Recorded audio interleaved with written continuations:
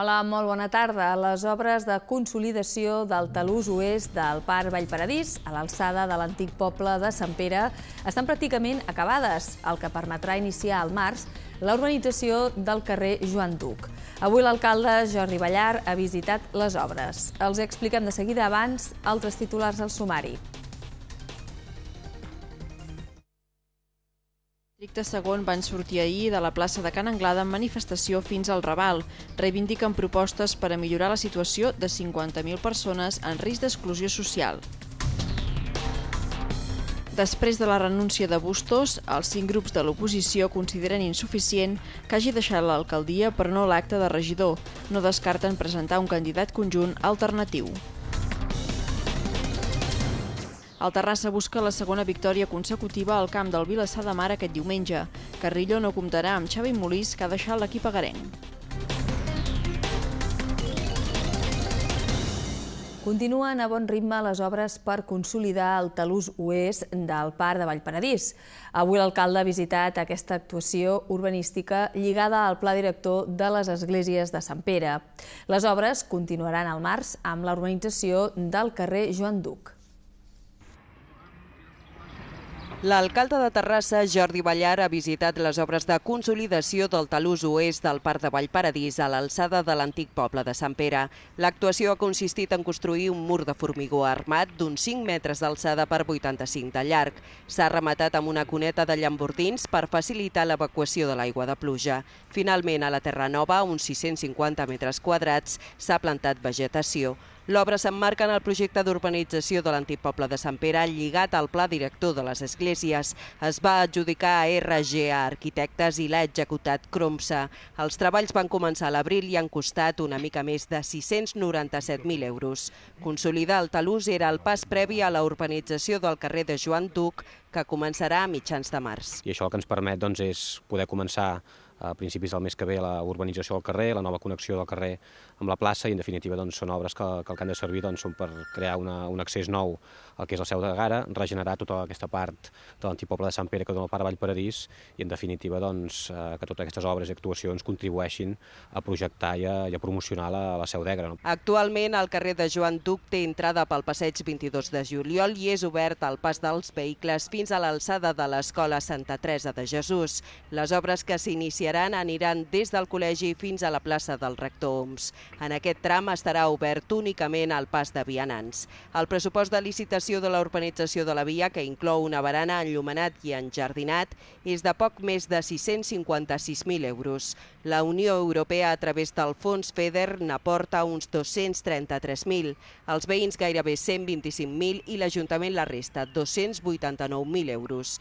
El projecte també inclou la senyalització cultural i turística pública a les entrades del barri i a la plaça del Rector Oms. Està previst poder inaugurar el carrer al juliol. Uns 500 veïns dels barris del districte 2 s'han manifestat aquest dijous tarda pels carrers de Terrassa fins a arribar al Raval de Montserrat. Formen part de la coordinadora d'entitats d'aquest districte i denuncien que la situació de risc social que viuen 50.000 terrassens és molt perillosa. El malestar ciutadà dels barris del districte 2 arriba al Raval de Montserrat. Aquest dijous, al vespre, unes 500 persones, segons la policia municipal, s'han concentrat a la plaça de Can Anglada per sortir en manifestació fins al Raval de Montserrat. Aquí han tornat a reivindicar un manifest que ja han llegit al principi de la manifestació. El regidor de presidència, Juan Antonio Gallardo, i la regidora del districte segon, Lluís Amel Gares, han rebut una representació dels manifestants. Els veïns n'han tret una reunió amb l'alcalde el pròxim dia 26 de febrer. Els veïns convocats per la coordinadora d'entitats del districte reivindiquen un ampli ventall de propostes, la majoria de les quals encaminades a millorar la situació de 50.000 persones en risc d'exclusió social a Terrassa. La coordinadora anima la resta de la ciutat a muntar plataformes similars per la construcció d'un nou ordre social. Esto no era de partidos políticos, no era de sindicatos, ni era de federaciones. Esto es una coordinadora del Distrito 2 que en principio trabaja para el Distrito 2, por un proyecto social que vamos, tenemos que estar implicados todos los ciudadanos. Que se puede exportar, abiertos estamos al resto de la ciudad para ayudarles a crear coordinadoras en todos los distritos. Els veïns, que en certa manera recullen l'esperit dels indignats, han cridat consignes en contra dels polítics, la corrupció i els banquers.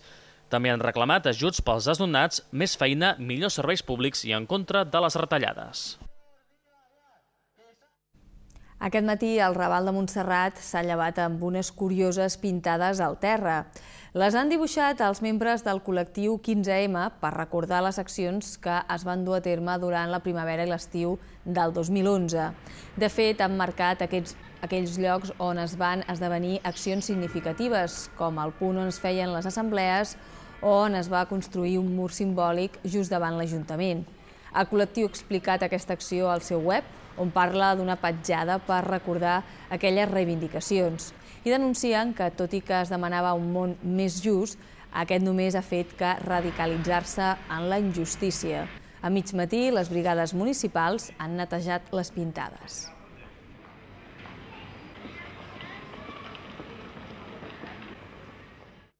El PSC fa una crida per sumar-se demà a la manifestació convocada per la plataforma d'afectats per la hipoteca a nivell estatal. A Barcelona començarà a les 5 de la tarda a la plaça Urquinaona.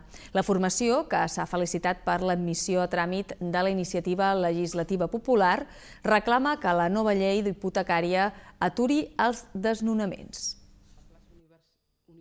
Atura els desnonaments de manera immediata, dació en pagament retroactiva i creació d'una borsa de pisos de lloguer social. Són els tres punts que, segons l'agrupació local del Partit dels Socialistes de Catalunya, hauria de recollir la nova llei hipotecària que es debatrà al Congrés. Els socialistes feliciten a la societat civil i als afectats per la hipoteca que qualifiquen de protagonistes per l'admissió a tràmit de la ILP hipotecària i esperen que el text final no es desnaturalitzi, diuen.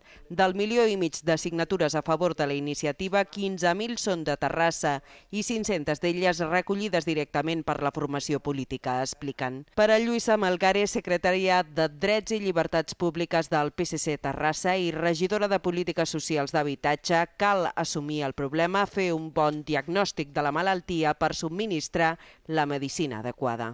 Dic que hem de reconèixer que les famílies mai podran pagar aquest deute. Si reconeixem això, reconeixerem que és imprescindible aprovar la dació en pagament retroactiva. El PSC fa una crida a la participació en la manifestació de dissabte convocada per les 5 de la tarda a la plaça Universitat de Barcelona. La pressió popular és bàsica, diuen, per evitar que el text legal es rebaixi i es paralitzi. Què és el que ha de fer? Convergència i Unió denuncia que la comissió de treball que ha de reactivar la Rambla està paralitzada. Els nacionalistes també reclamen millores en l'accessibilitat al mercat de la independència. La comissió de treball creada ara fa 11 mesos per reactivar i dinamitzar la Rambla de Gara està paralitzada. Així ho diu el grup municipal de Convergència i Unió a l'Ajuntament de Terrassa, el qual denuncia que durant tot aquest temps només s'ha reunit quatre vegades, l'última a l'octubre de l'any passat. L'objectiu de la comissió és aportar propostes perquè Terrassa recuperi una rambla activa i renovada. Convergència i Unió es lamenta que gairebé un any després de la creació del grup no hi ha cap conclusió. A més, es queixa de la falta de resposta de l'equip de govern. A l'espera de poder mantenir un nou contacte amb la comissió, la formació nacionalista aposta per donar una millor accessibilitat al mercat de la independència, sense oblidar els carrers adjacents com són Galileu i Arquímedes. Per tant, les propostes que fem van en la línia de permetre l'accessibilitat al mercat, garantint que es pugui arribar al pàrquing del mercat baixant eh, directament per la Rambla sense haver de fer tota aquesta giragonsa per Pare Llaurador, per Galileu i pel carrer, pel carrer Grànios. També el que plantegem és si hi ha d'haver determinats dies eh, en què s'ha de tallar el trànsit, evidentment el dissabte al matí, eh, que és el dia més fort del mercat, no, no pot passar.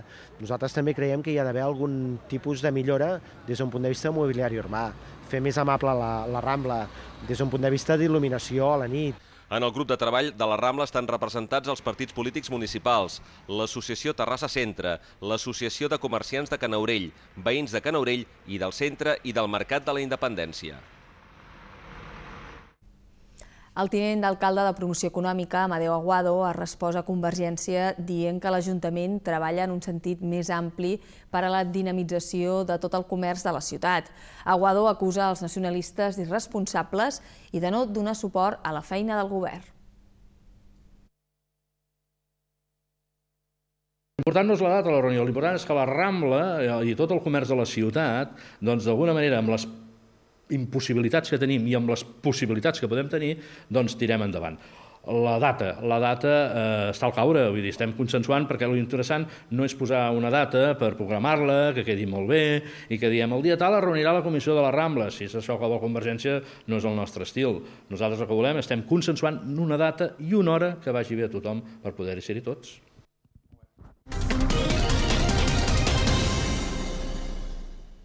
L'endemà de la renúncia de Manuel Bustos com a alcalde de Sabadell i d'unes primeres reaccions per separat, els cinc grups de l'oposició ja han adoptat una posició conjunta. Convergència i Unió, el Partit Popular, l'Entesa per Sabadell, Iniciativa i Esquerra Unida consideren insuficient que Bustos hagi deixat l'alcaldia, però no l'acte de regidor, com els altres tres càrrecs electes imputats.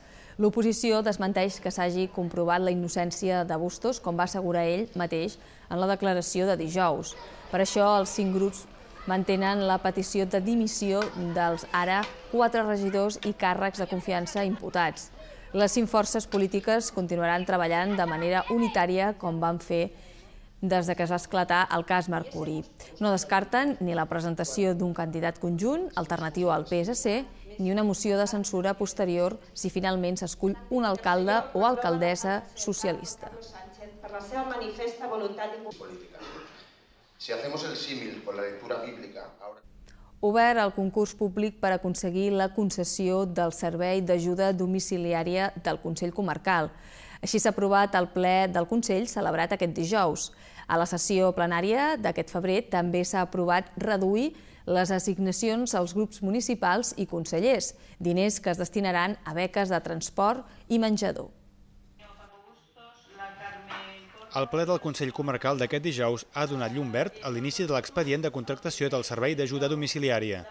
La concessió del servei, que ara s'obre a concurs, és per dos anys, d'aquest juliol a juny del 2015, però ampliable a dos anys més. Té un pressupost de 2,8 milions d'euros. El Consell Comarcal presta el servei d'atenció domiciliària des de fa 4 anys als nou municipis que s'han adherit. Des del seu inici, ha experimentat un creixement en el nombre d'hores prestades, de les 55.000 del 2009 a les 67.000 del 2010, les 70.000 del 2011 i les 81.000 de l'any passat. El 85% de les hores del 2012 corresponen a serveis d'atenció i cura a persones i la resta al servei auxiliar de la llar. Hi han treballat una mitjana de 53 treballadors familiars i 11 auxiliars de llar. En el plec de clàusules del concurs públic aprovat s'inclou la gestió d'un banc de dispositius de suport a la dependència per a que els ciutadans puguin fer ús, durant un temps, de material tècnic que els ajudi en la seva vida diària. El ple de febrer ha aprovat també una proposta de la Junta de Portaveus per reduir les assignacions als grups municipals i als consellers per un import total de 16.000 euros. Aquest estalvi es destinarà a beques de transport i de menjador. Baixa el nombre de terrassens que veuen aigua de l'aixeta i la utilitzen per cuinar. Són dades extretes d'una enquesta de satisfacció feta per Mina d'Aigües. Un estudi que també constata que cada vegada hi ha més llars amb algun tipus de tractament per l'aigua. Un 93% dels terrassencs confia que l'aigua de l'aixeta compleix les garanties sanitàries necessàries. Malgrat això, només un 8% en veu, però un 68% sí que la fa servir per cuinar. Així es desprèn dels resultats del 2012 de l'enquesta de satisfacció feta per Mina d'Aigües entre els seus clients. Aquestes dades posen de manifest que els percentatges són menors que el 2011, quan l'aigua de l'aixeta la bevien un 13% dels ciutadans i la utilitzaven per cuinar un 74%. El document també explica que s'han incrementat les llars que utilitzen algun tipus de tractament per l'aigua. El 2011 era un 17% i el 2012 un 28%. Sobre el gust de l'aigua de l'aixeta, Mina subratlla que està sotmesa a un control exhaustiu i continu i que compleix totes les garanties sanitàries especificades en la legislació vigent. A més, concreta que l'aigua de la nostra zona té una duresa elevada perquè conté més calç i una certa quantitat de clorurs que afecten el seu sabor. Per aquest motiu i per millorar la percepció del gust de l'aigua de l'aixeta, Mina recomana servir-la freda. Una altra de les dades recollides a l'enquesta fa referència a la factura. Un 97% dels clients la reben i valoren amb una nota de 8 la seva claredat. Respecte a l'atenció al client, els usuaris posen una nota de 8,2 a l'atenció rebuda i de 8,1 a la informació obtinguda i a la solució de la gestió. Pel que fa a la nota global de les enquestes de satisfacció, els clients li posen un 8,03 seguint una tendència a l'alça respecte a les valoracions d'anys anteriors. L'any passat, el Servei de Consulta Sexual i Ginecològica de l'Ajuntament va atendre gairebé 4.000 consultes, la majoria joves preocupades per l'anticoncepció. Dades que es donen a conèixer coincidint amb el Dia Europeu de la Salut Sexual celebrat aquest dijous. El 14 de febrer, a banda de ser Sant Valentí, el que els països anglosaxons en diuen el Dia dels Enamorats, també és el Dia Europeu de la Salut Sexual. Amb ell es pretén conscienciar que una vida sexual activa repercuteix en la salut de l'individu i a la vegada alertar sobre les malalties de transmissió sexual. En aquest camp treballa l'Ajuntament a través del Servei de Consulta Sexual i Ginecologia. Entre l'any 2011 i 2012 hi ha hagut un lleuger increment de les persones ateses. La immensa majoria, més de 3.000, són joves menors de 25 anys preocupades per l'anticoncepció. També s'han incrementat les dones que han consultat sobre la interrupció voluntària de l'embaràs. Una vintena més ho han fet en l'últim any. I pel que fa a l'àmbit de la teràpia sexual, hi predominen les dones de més de 25 anys. L'Ajuntament actua també en la prevenció. Per això programa activitats a diferents espais municipals. N'hi ha hagut 42 sobre la salut sexual i la sida, a les quals hi han assistit gairebé un miler de persones. Coincidint amb el Dia Europeu de la Salut Sexual, els experts han dit que en 3 anys s'han duplicat els homes amb disfunció erèctil que s'adrecen al metge. Alerten que en aquest tipus de malalties encara hi ha molta vergonya i desinformació.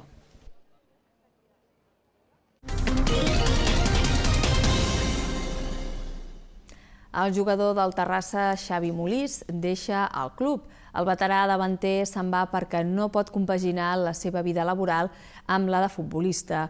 No descarta, però, continuar jugant en categories regionals. Xavi Molís posa punt i final a la seva etapa al Terrassa. Han estat pràcticament 5 temporades en dos períodes diferents del club, 149 partits defensant la samarreta vermella.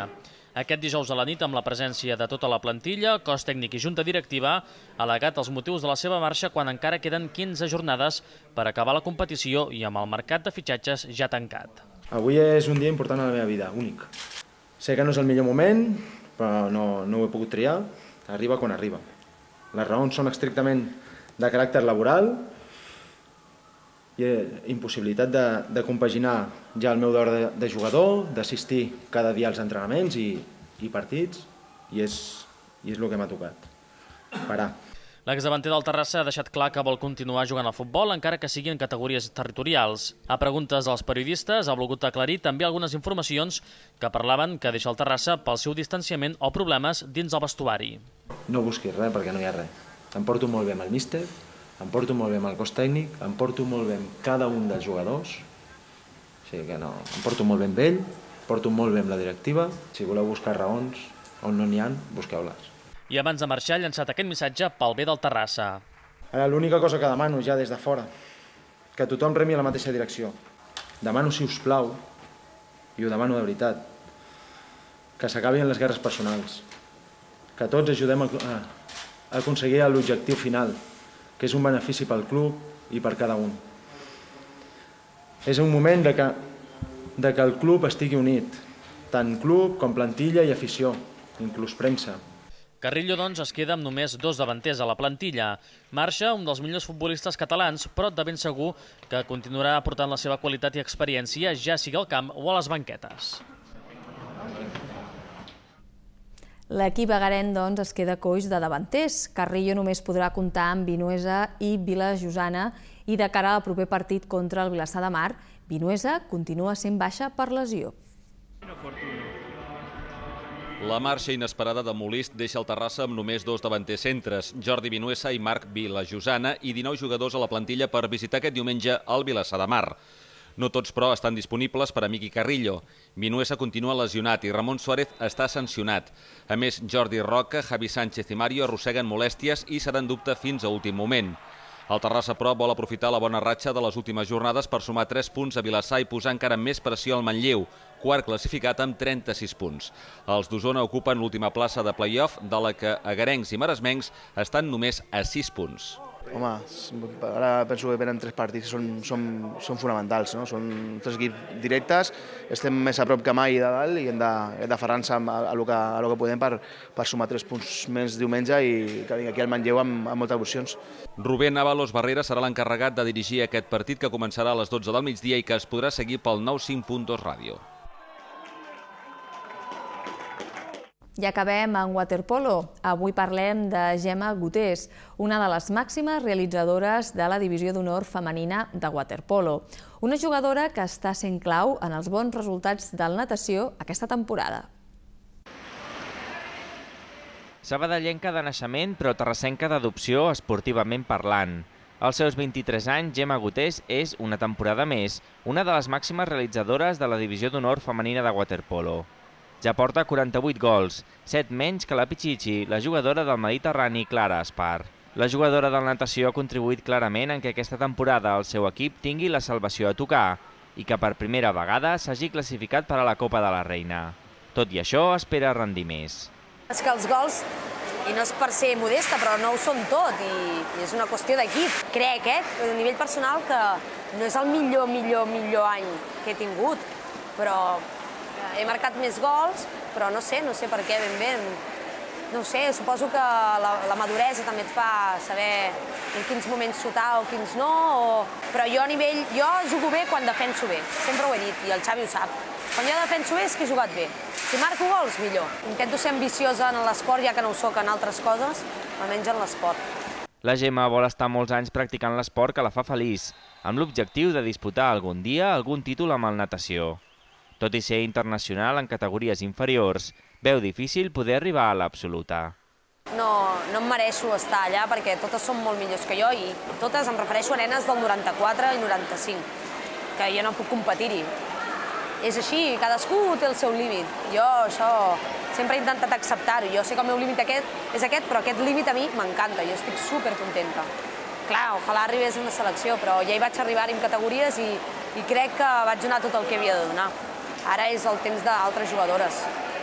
Monitora de natació, l'aspiració personal de la Gemma és treballar en un futur en l'àmbit de l'educació especial i, com a hobby, transmetre la seva experiència a les més joves.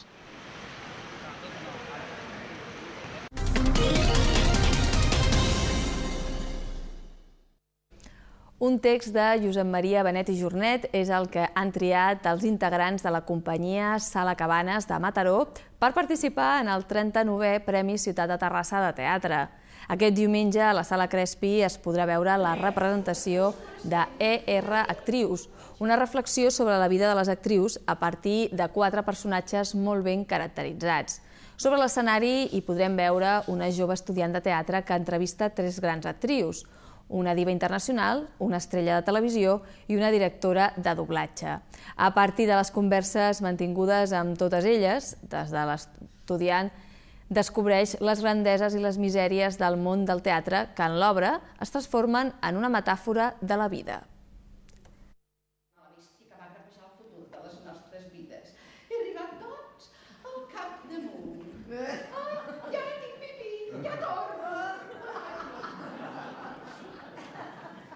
Doncs amb aquest apunt teatral ens acomiadem avui. Recordin que tindran més informació en properes edicions a Canal Terrassa Vallès, a la ràdio municipal i al portal a través d'internet terrassadigital.cat. Gràcies per seguir-nos un dia més i que passin un bon cap de setmana. Fins dilluns.